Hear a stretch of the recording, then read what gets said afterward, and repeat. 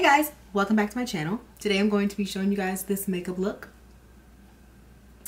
And it's also my first video of the year. So I'm going to be doing a Q&A for you guys.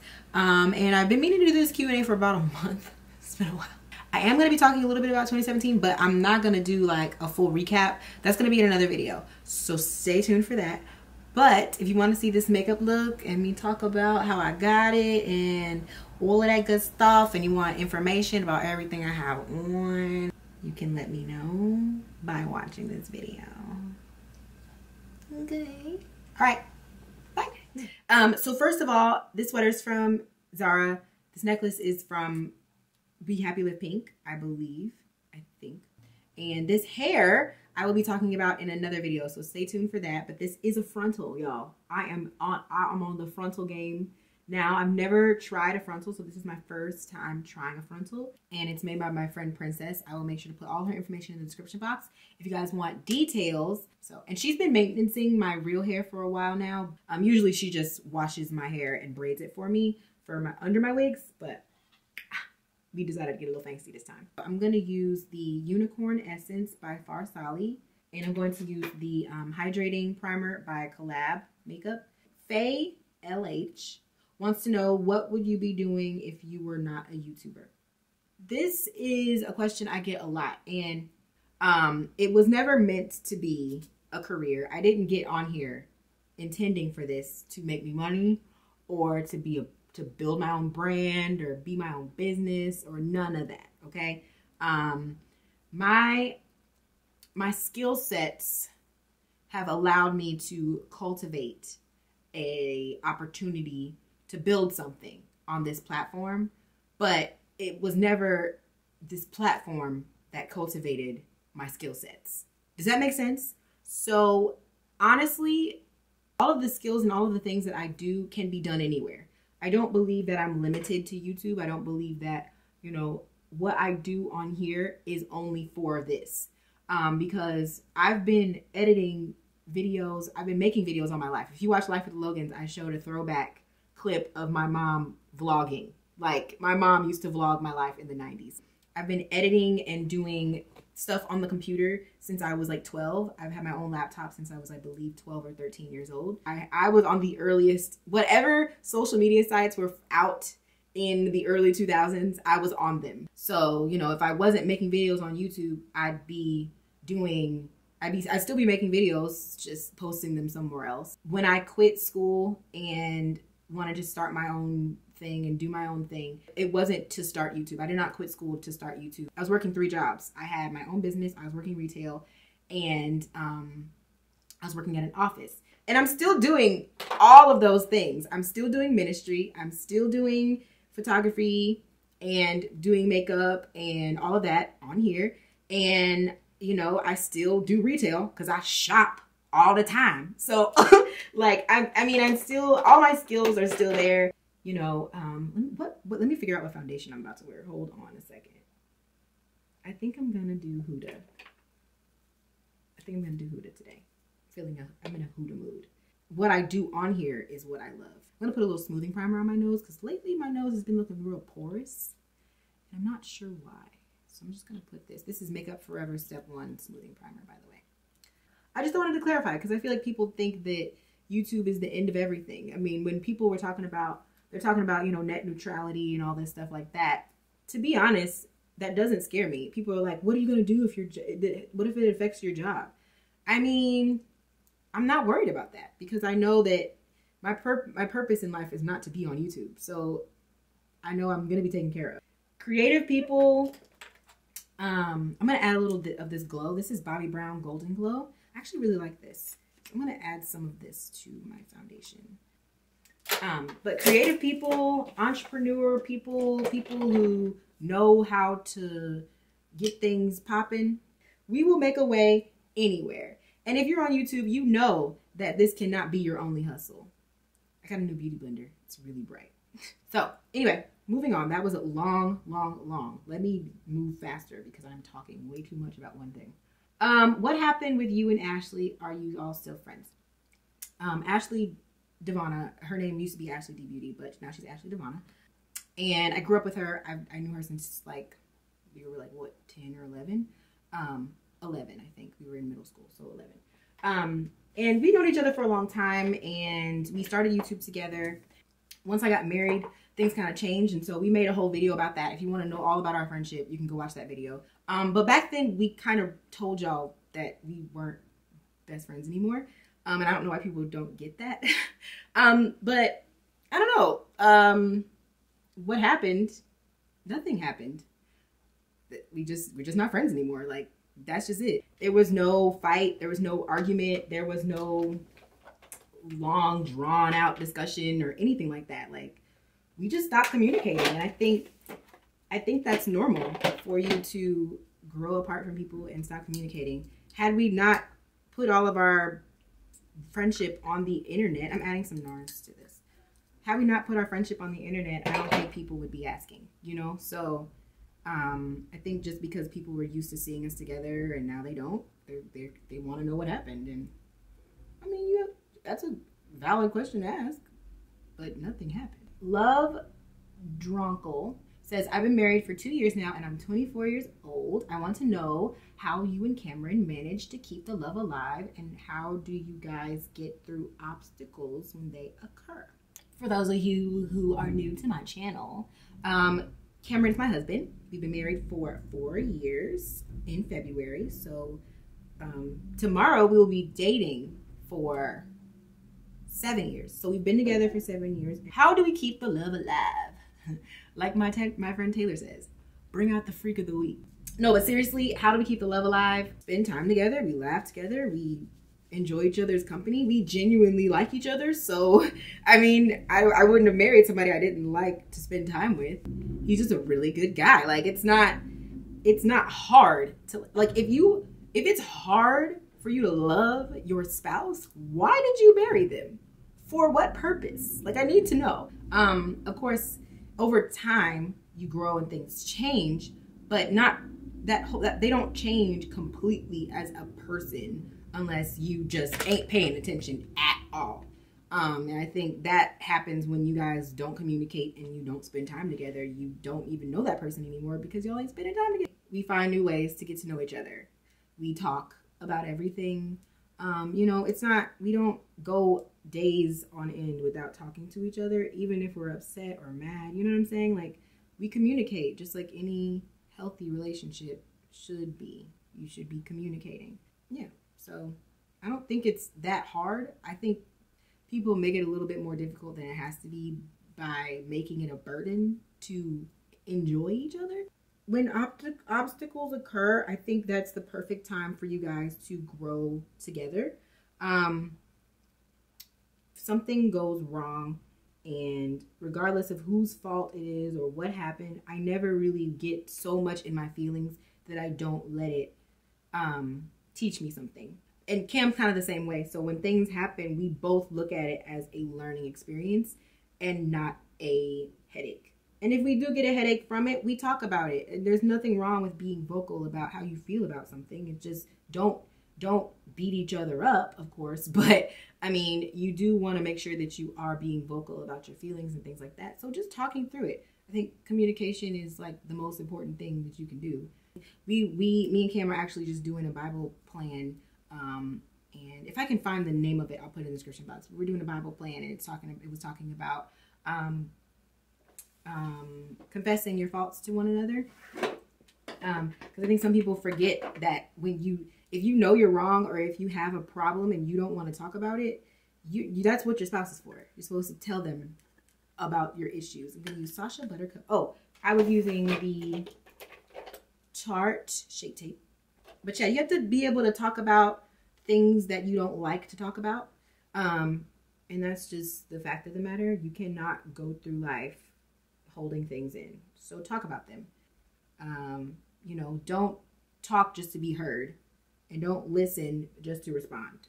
Okay? Talk because it's going to help the both of you and listen because you actually want to understand what they're thinking. You know, don't just listen so you can have a response yeah, but every obstacle me and Cam have been through so far, I am so grateful for it because I feel like it's really helped us to learn each other, learn how each other thinks, and work through a lot of the issues that we didn't know we had. So um, there's never been a time where we went through something and I regret it. Tiana Perry says Cameron was joking about your dad, about how, how your dad was acting when he asked to date you.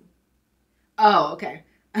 and she said, I thought that tidbit was hilarious. Could you talk about what it was like to join his family? How you two build relationships with each other's friends and family? Did either of you not like get or get along with someone and how did you handle it? She's talking about I talked about this in Life of Logans where Cam went and asked my dad when my when Cam asked my dad if he could date me and my dad was like the godfather sitting in a chair and he like spun around in the chair and was like step into my office. Like that literally happened. My dad is very extra. We did not have any problems with not liking each other's family or friends. My parents knew his parents before i did so they've always had a good relationship with his parents naturally because my parents like his parents i've never had a problem with his parents. Um it was just awkward moving here.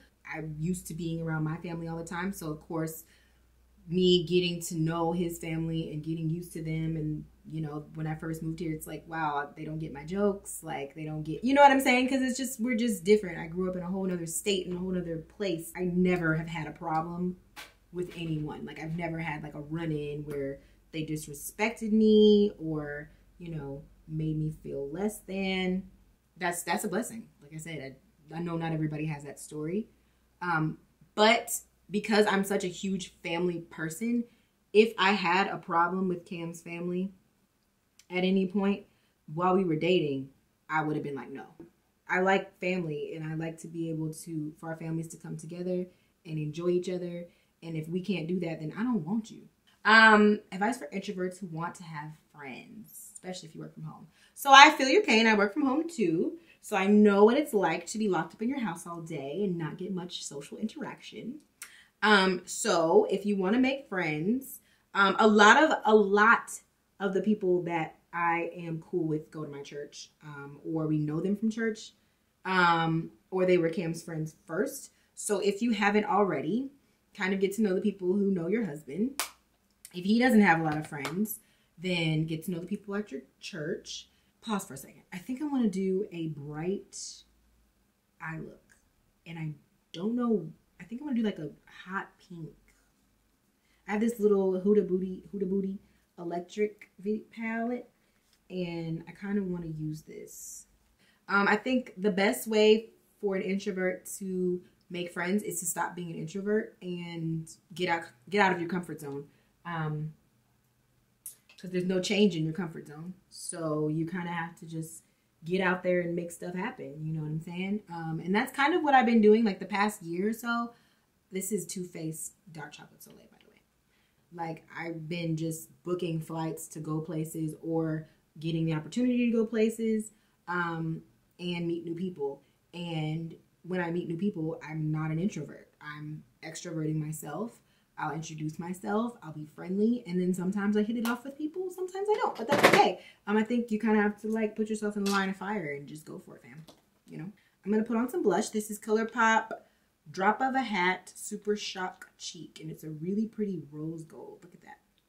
Um, and I'm actually gonna use my booty blender. What was the greatest thing that 2017 taught you? 2017 taught me that when you put your mind to something, you can do anything. Last year, I said, This is my slay year. I'm going to slay all year long. And I did it. And I'm very, very proud of myself because I actually did it.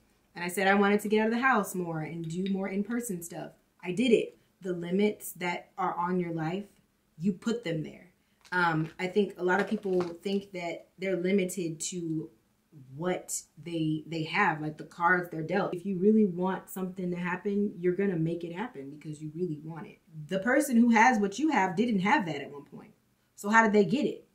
By making it happen. They went out and and went after it. So don't be mad because somebody wanted something more than you. You know this is um rum matchstick. Um what's this brand? Fenty. You know there's power in your words. There's power in prayer. There's power in your mindset and what you believe about yourself. And if you think that, you know, you can't do something because you don't have the resources, then you can't do it because you don't have the resources. But if you go out and try to find the resources and figure out how to make it work for you, then now you have some resources and now you can work with that. You know what I'm saying? you know, realize how much power you actually have to make change in your life and then like do it. It's like so fulfilling to like actually do something that you wanted to do. Aaliyah Nicole asked, How has YouTube your YouTube platform changed your life? You know, it's kind of helped me to really like look inwardly and like fix some of my own issues that I've had. You know what I'm saying? Like, I don't know, like it's kind of shown me where I'm weak and I've gotten stronger because I'm I'm watching myself all the time. So it really helped me to value like my relationships with people in real life and like honor and respect that, you know. Um, and it's really influenced me to be more tangible, to be more open and honest and talking more about my feelings and you know what I believe and stuff. I can't read your name, but she says, "How do you feel now since your optimal health journey?" If you don't know, last year I went on an optimal health journey which basically is just a journey to get my body in the best health possible. Prior to then, I was just eating a lot of sugar and not taking care of myself. I was going through a bit of a depressed state um, and, you know, just not, I wasn't taking the best care of myself that I should be mentally, physically, spiritually at all. So um, last year was kind of like the turning point for me. I went to the doctor, got some tests done, and um, all of that's in that video if you want to get more information about exactly what was going on with me. Um, and I will be doing an update. I will be doing an update soon, so stay tuned for that. Yeah, I feel really good. I, I think now more than ever, I know my body um, and I kind of know what works for me and what doesn't. I feel great. Um, I don't know if you guys can tell, but I look great. um, this is, to me, I feel like this is the most consistent that I've looked good. Um, my skin has been really good and my body is you know, not as skinny and scrawny as I used to be. So I am definitely still skinny, of course. Not not trying to get thick like I used to want to try to get thick. I'm not trying to get thick. Um, but I'm fuller a little bit, you know. So I definitely feel good. I look good and I'm happy. So that's good. But happy is relative. It depends on what I ate. How did your parents react, feel about your style and taste in dressing, especially as a PK and a leader in your church. How do you your husband feel about it? I've seen you wear crop tops, which obviously exposes your midsection and shorts and other risky clothing pieces. The reason I'm asking is because I am much curvier than you are and have been ridiculed and yelled at by elders in my church for wearing something like a pencil skirt to church. I've been kind of jaded ever since. I see that you are so free with your dressing and I've always and have always wondered how they felt or if you've ever struggled with dressing for church. So, for those of you who don't know, now you know I'm a PK, I'm a preacher's kid, um, and I am also now a preacher's wife. I get I don't get this question a lot, but I do feel like people often are not taken aback, but kind of just like, oh, like she doesn't just wear long ankle length skirts. I'm I'm I guess you could say I am free with how I dress. I'm not, I don't feel restricted, I guess, but I do have, I do have rules and standards for myself. That doesn't mean that I don't, that I wear whatever I want, because I definitely don't wear whatever I want. And it's more so based on um, the time and the place. Let me just tell y'all, first of all, really quickly, this, it's my Raye Raye palette though, is life. And if you don't have it, when it comes back in stock, get your hands on it. I'm going to take the highlight shade. That's what I was going to do. And highlight. There's a time and a place for everything. I don't wear crop tops to church. You know what I'm saying? Like, I don't wear crop tops. And I'm not saying that she's saying that. I'm just saying, you know, I'm not to wear a crop top to church. I'm not to wear a super, super, super tight skirt to church. Like, normally, if I'm going to church, I'm not, I don't even wear skirts to church for the most part. Because I know skirts can be sometimes a little bit even though I know some churches are like you can't wear pants. I haven't been to a church where you can't wear pants in a long time. I did grow up Church of God in Christ, COGIC, so we were not allowed to wear pants. Um, and like red nail polish and makeup and all that stuff. So I didn't wear makeup until I was 18. Um, and that's just because my parents didn't really let me either. But um, you know, they just kind of looked down on like that kind of stuff, like big earrings and stuff like that. They kind of were like, you're trying to be a hoochie mama or whatever. Um, but now that I'm older, number one, I'm, I'm grown, so I, I can wear what I want. But Um, I still I think it's a matter of respect and being respectful of where you are. I visited Abu Dhabi and I went to the Grand Mosque. I wore a head wrap and I had to put on a whole long dress. I'm not Muslim, so I, I don't have to cover my hair all the time. But when I'm in their place of worship, if I'm visiting just to see it, I'm not gonna walk up in there like, I don't believe this, so I'm just gonna have my hair out. You know what I'm saying? So it's the same with church. Like, but when I leave the house for church, Cam does a, a once over of me. If something looks too see through, he tells me to go change. He's like, you need to put on something under that. Cam's mom checks me all the time. She's like, do you have on a shell? And I'm like, yes, I have on a tank top under this. You know what I'm saying? But if I'm on vacation, if I'm in 100 degree weather and I'm on the beach or at the pool, I'm wearing a two piece. I'm wearing a crop top. I'm wearing shorts. When I go on vacation with my family, you know, Cam's dad is a bishop and I wear shorts on him. It's not, you know, they're not disrespectful shorts. My booty's not hanging out. I don't wear low cut tops around him, you know, so we can see my titties. Like that's Cam's dad. Why would I look like that around him? You know what I'm saying? So I think it's just a matter of di- discerning. Um, you know, if you feel if you feel uncomfortable wearing something or you feel like somebody's gonna say something to you, don't wear it. The under dark side of my booty, you will never see the underside of my booty. You will never see my nipples you will never you know what i'm saying? Like i don't walk around that stuff with that stuff showing. My dad used to get honestly my dad never really got mad about my clothes. He more so got mad about like me wearing colored lipstick because he hates the way colored lipstick looks on me. He's like oh i hate when you wear the purple red and orange and blue lipstick. It's so ugly. He used to get mad at me when i wear stuff like that but never really my clothes. How do you keep your faith so strong and connect with god when you have to be on social media. I find it hard to balance being part of culture such as fashion, music, etc., but also not bending in my faith. Like I've said before, my husband, my husband was a huge influence um, in me um, in my relationship with God, and he's always been the the like the person to push me, you know, and make me better. Even like even his sister, like they're both a huge inspiration to me and how they are so strong in their faith and and I've always kind of I always admired how even though they're preachers' kids, that that pressure, I guess the pressure to appear to be more more holy than they really are, didn't it didn't affect them building their relationship with God like it affected me. I feel like well, Cam does talk about it, but Alexis is just awesome. But um I, I had a hard time growing up. I always had an issue with what people thought about me um, when I was younger. Um, but now I'm more so just kind of like, this is me. This is what I like. This is who I am. And I don't I don't really let people determine whether or not I can be me. You know what I'm saying? Now the problem is when the things that you like and the things that you want to do and the people that you hang out with are going to make you compromise. Um, and by compromise, I mean. You know what I mean just don't put yourself in compromising positions.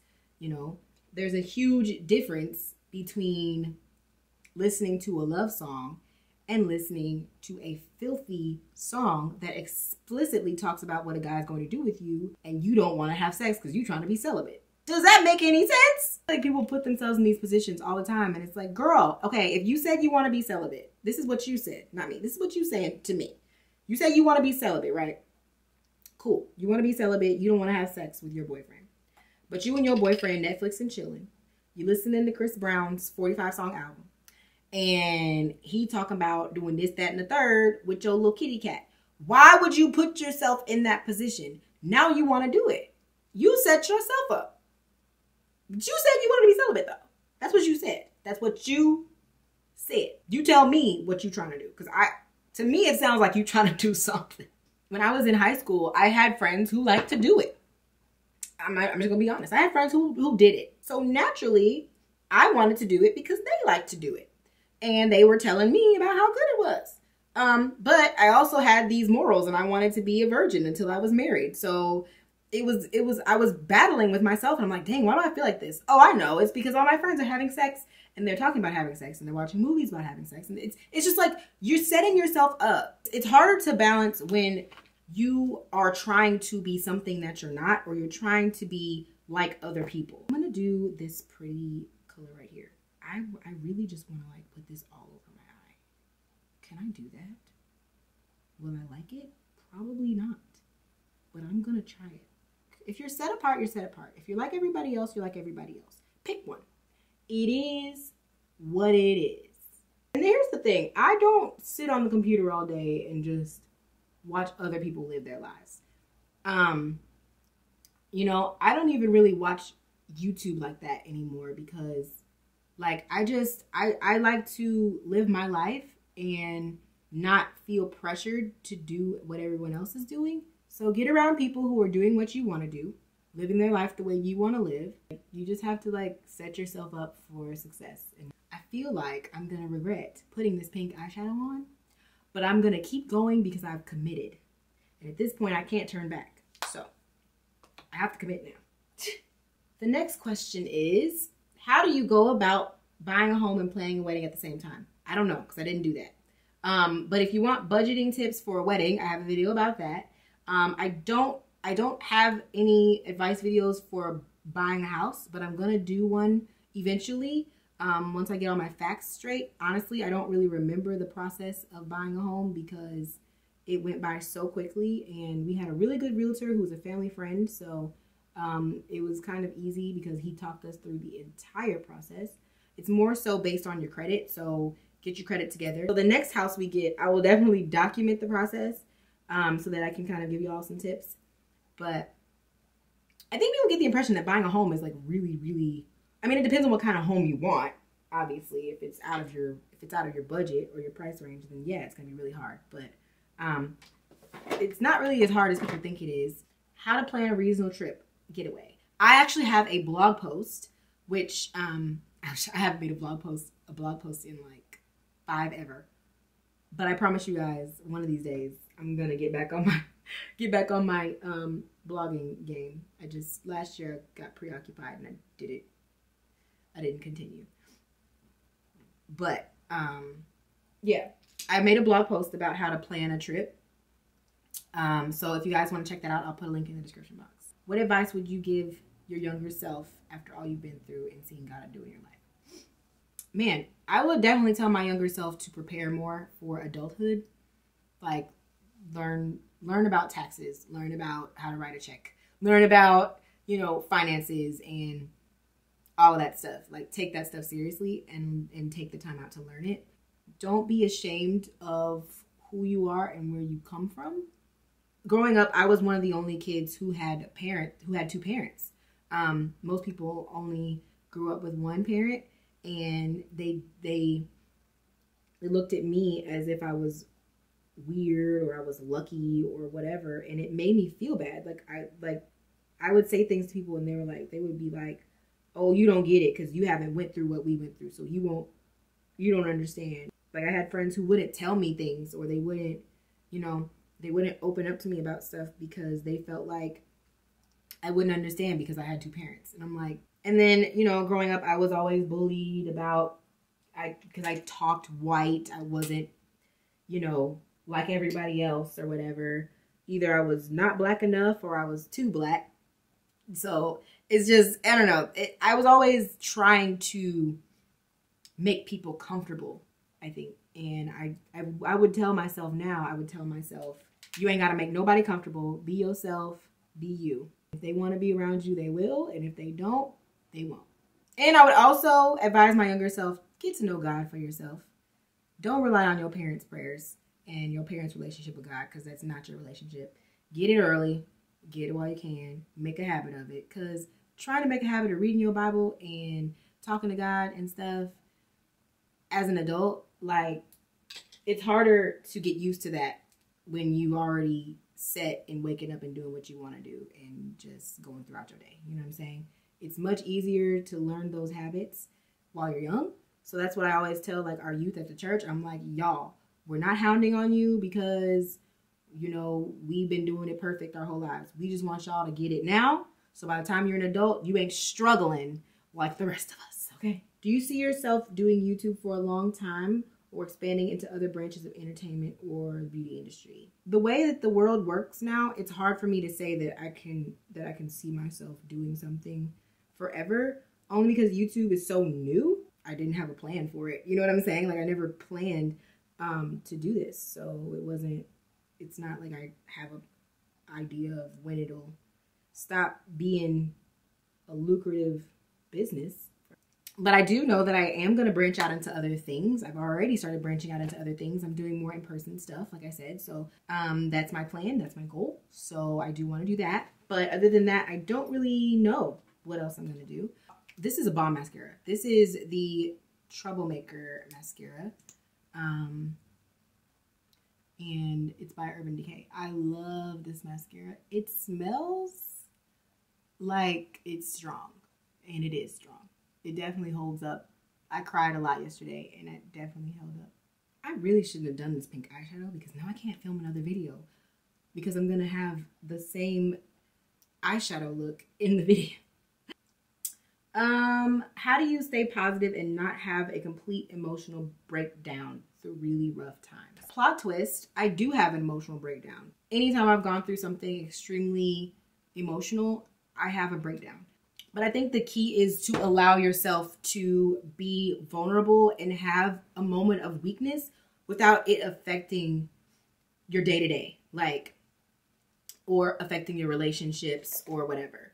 I think a lot of times we get so caught up in how we feel that we let it affect everything around us. I think there's a healthy way to be vocal and to share your thoughts and your feelings without hurting others. Make sure that you surround yourself with people who are positive, who can keep you uplifted and encouraged and can slap you in the face and tell you to get it together.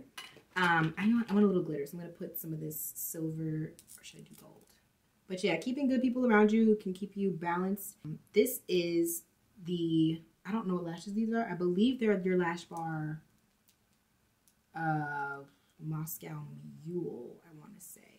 So any tough situation, look at it as an opportunity for you to learn something, to learn yourself, and to better yourself. So for my lips, I'm going to do something nude. I was going to do, I have the new Fenty lipsticks, and I was going to do a new Fenty lipstick, but since I went ham with this pink eyeshadow, I don't want to do something too cray. Two hours later. So the video cut off before I finished. Sorry. Um, but on my lips, I have this stuff. I have ColourPop lip pencil in the color Chi. Fenty Beauty's new lipstick, and this is the color Up to No Good. It's a peachy nude color. Very pretty.